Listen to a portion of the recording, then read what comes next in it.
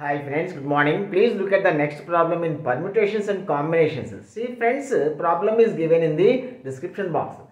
See friends, a person has four coins, each of different denominations. Here the question is how many different sums he can make with these four different coins.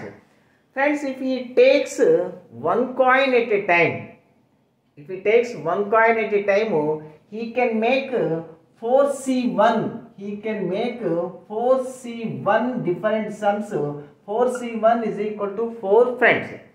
Friends, if he takes two coins at a time, if he takes two coins at a time, he can make 4C2 sums.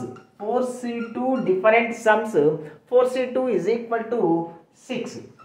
Friends, if he takes three coins at a time, if he takes three coins at a time, three, three different coins at a time, um, he can make he can make um, 4C3 different sums. Uh, 4C3 is equal to again 4C1 that is equal to 4.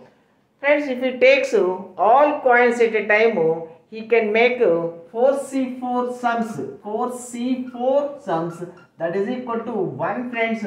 So, total total he can make 15 different sums friends. Instead, you can use formula 2 power n minus 1. 2 power n minus 1. Here n is number of different coins 2 power 4 16 minus 1 15 so this also you can apply thank you